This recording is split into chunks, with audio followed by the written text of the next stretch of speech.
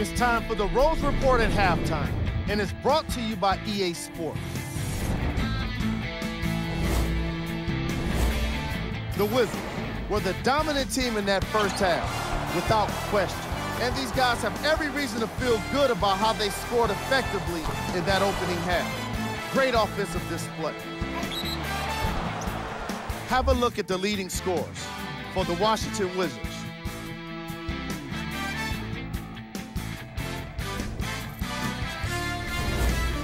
The Hawks were definitely sluggish with their scoring to start this game. And no matter what kind of defense you're playing, if you're not leading on the scoreboard, you're not winning the game. It really is that simple.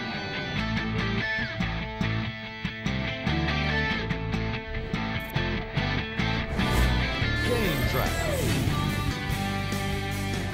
Field goal percentage.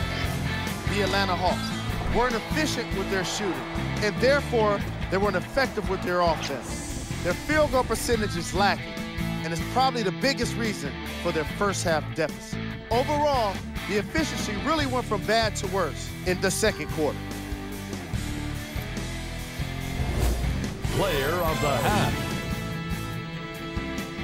The truth put in some work in the opening half. And you can bet the opposing coach is in the locker room right now trying to figure out how to slow him down. And I'll tell you what, I'm glad it's not my problem. And here we have a look at the stats.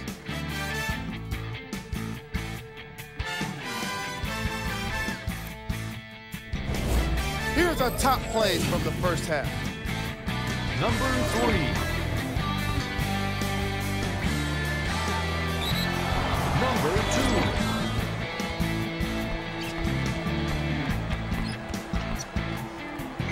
Number one.